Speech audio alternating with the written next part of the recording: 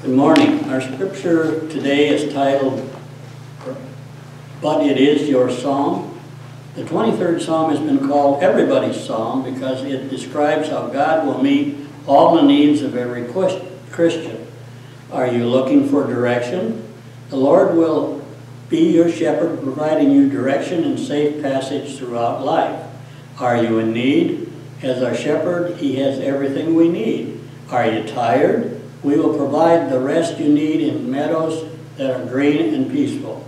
Are you anxious? He will lead you because beside peaceful streams. Are you weak? He will provide all the strength you need from His resources.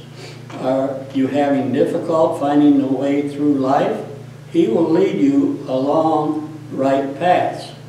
Are you going through dark alleys? He will walk beside you and protect you in every step of life's journey with his might. Are you hungry? He will prepare a feast for you even though you are surrounded by your enemies. Are you weary of life's journey? He will anoint you with his refreshing healing oil. Is your cup empty?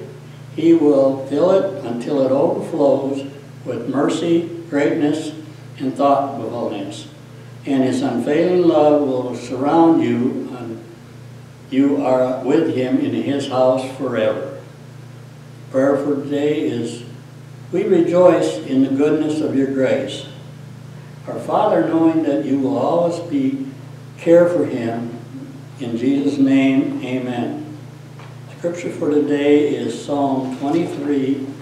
The Lord is my shepherd, he shall not want. That's it.